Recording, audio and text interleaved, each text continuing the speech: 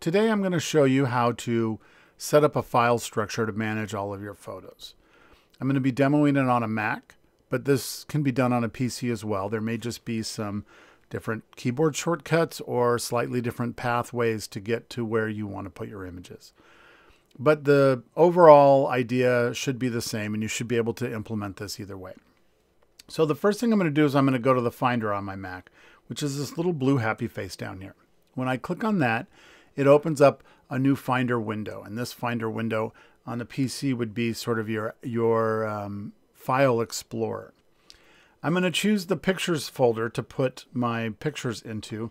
And I'm going to come up here and I'm going to say new folder.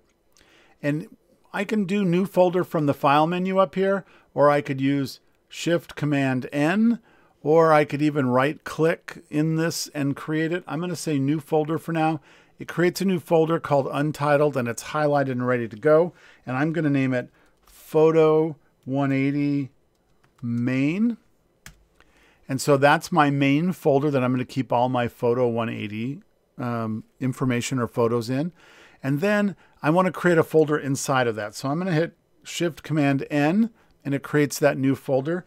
And this one I'm going to name in a very particular way so that it makes it easier for me to sort these folders and to find what I'm looking for.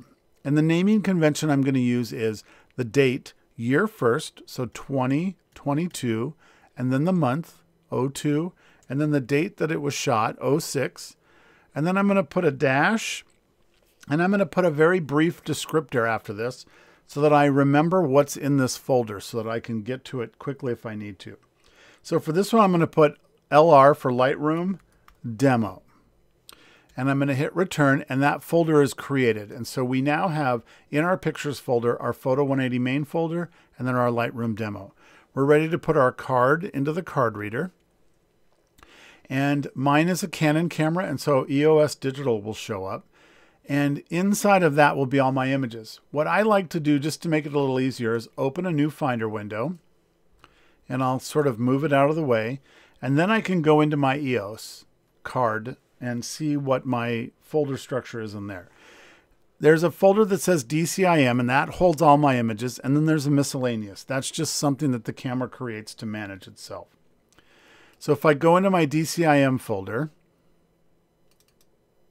I can see that I have um, 100 EOS 5D. So these were shot on, on a 5D.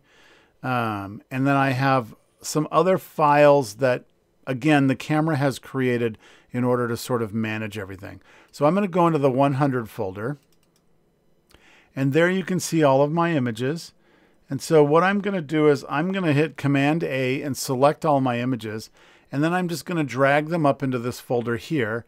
And it will copy them over one by one into this folder.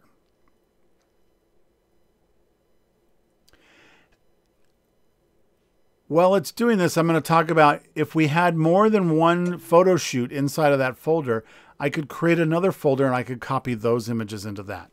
Now I copy all of the images because I find it much easier to manage all of these and edit out the ones that I don't want once I'm in Lightroom and uh, not here in the Finder. So once those are all copied over, I can eject my, my memory card and I now have my folder full of images, and I'm ready to go.